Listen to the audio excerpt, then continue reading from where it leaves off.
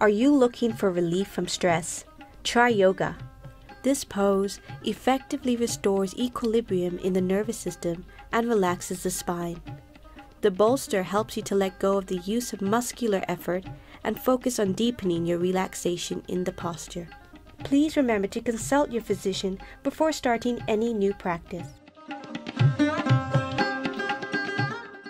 Place the bolster onto the right side of the mat and come to lie onto your back. Stretching the legs out. Bend the left knee and then gently roll until you can feel the knee is resting onto the bolster. Take a deep breath in and as you exhale, look to the left side. Allow a nice twist through the whole spine to come out of the posture. Take the leg back and then repeat on to the other side.